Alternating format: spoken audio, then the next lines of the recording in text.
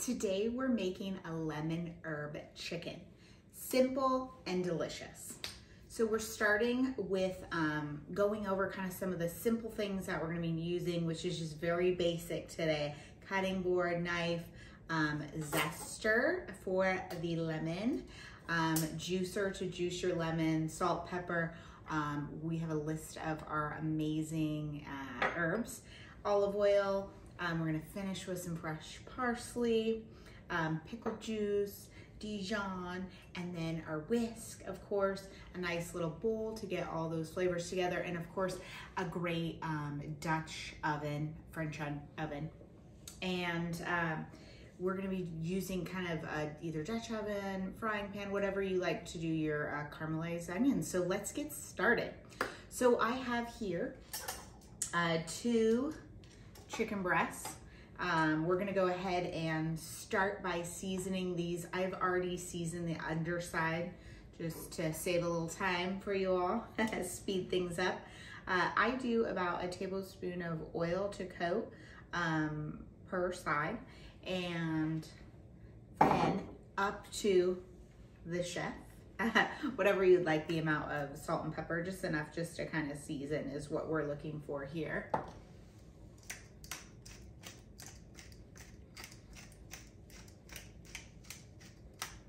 Okay, now we're gonna add our herbs. So one of the reasons that I've decided to do all these herbs is herbs have so many great healthy benefits. They're delicious and we all need to clean out the uh, spice cabinet from time to time.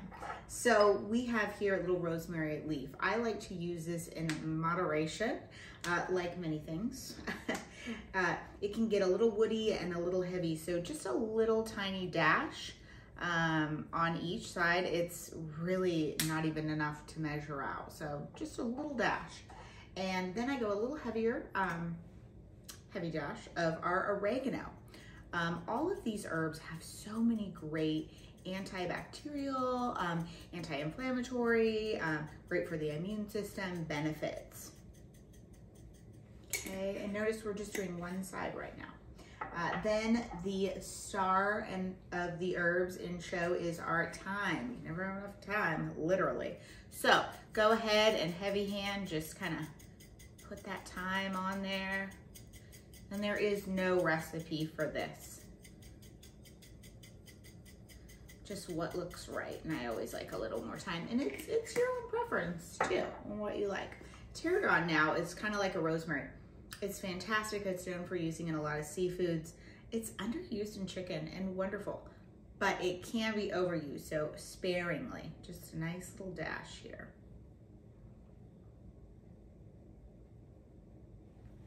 Oh, delicious. So now that we've kind of gotten all that, we're gonna go ahead and flip. We've already seasoned this with oil, salt and pepper.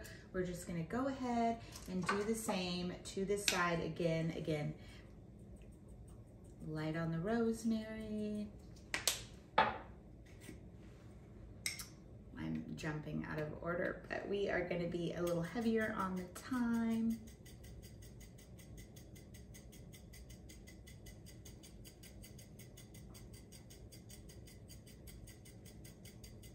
Of course, oregano.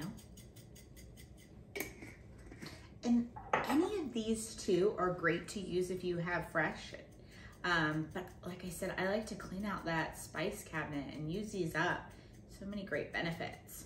And if you are missing one or two of these, just go with what you have. Still gonna be delicious. Again, tarragon to finish. This underused, amazing spice. Okay, so these beautiful uh, chicken breasts are seasoned, ready to go. We're gonna start with the next step. I have a bowl here. I've already put um, a nice heaping tablespoon of Dijon mustard here in the bowl. We're gonna take that and we're gonna whisk it with, I'm so excited to share this with you. This is my most favorite ingredient to use. It's already got all this great garlic, dill, what could that be? Pickle juice. So we do um, about three tablespoons of the pickle juice. Give that a stir with that Dijon Dijon just has great flavor. Also that little bite of vinegar in there. Okay, we're gonna add a little bit of our salt and dash of pepper into here as well.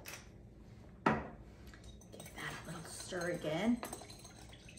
And then I have pre-juiced a little Meyer lemon juice. You can use um, lemon, Meyer lemon. Meyer lemon is just a hybrid. It's a cross between um, orange and lemon. And you get this nice sweeter. Um, we're in the height of citrus season, so I, I've done the Meyer lemons. Um, we're gonna go ahead and I've pre-juiced this, but the equivalent of one Meyer lemon. Um, so we go ahead and just pour that in, one juiced lemon or Meyer lemon, whatever you would like.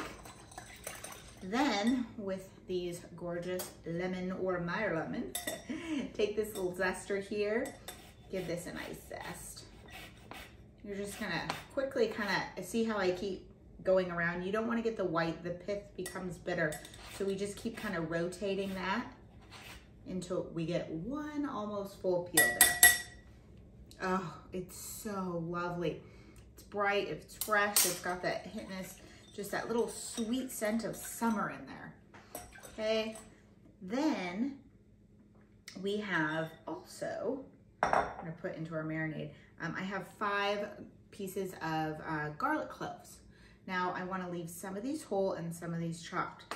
So my biggest ones, because they're gonna be cooking, which will be these three, I put aside. Then these three, I'm gonna just do a nice little quick chop here.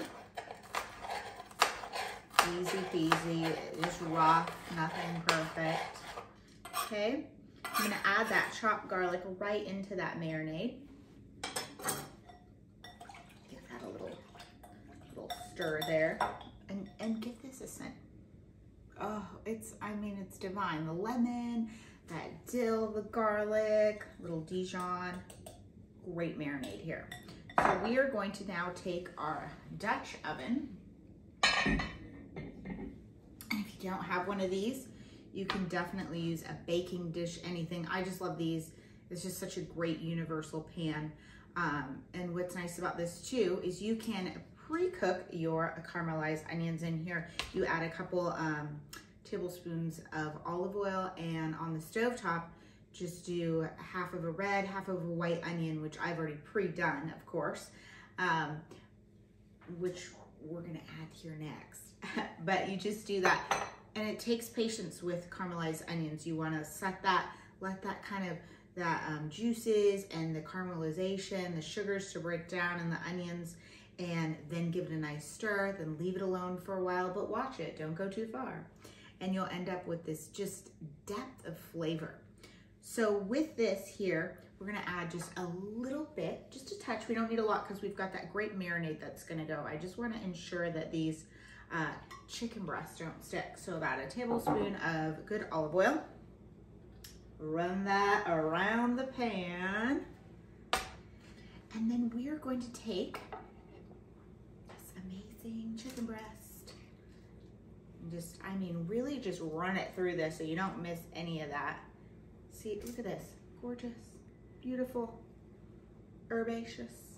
Into the pan there. I mean, eh, this is so easy. This is a recipe you can make with your kids, with anyone. It's delicious. Okay, and I just, I don't want to lose any of that amazing flavor. And put these two down. This over here on the side. And we're done with that. So here you can see, oh, amazing. We've got our chicken breasts in there. Now we have this great, amazing kind of marinade. This is gonna give flavor and it's gonna keep it moist.